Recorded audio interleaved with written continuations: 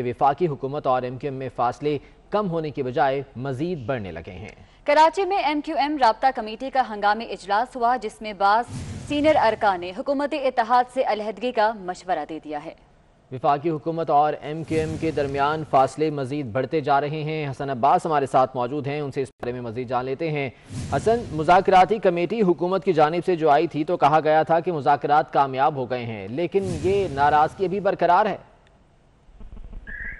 جی دیکھیں وفاقی حکومت کی جانب سے مذاکرات کے دار تو بہت ٹھیک ہے لیکن ایم کیو ایم اور پی ٹی آئی کے درمیان جو ہے وہ ناراضگی اور فاصلے کم ہوتے ہوئے دیکھا ہی نہیں دے رہے۔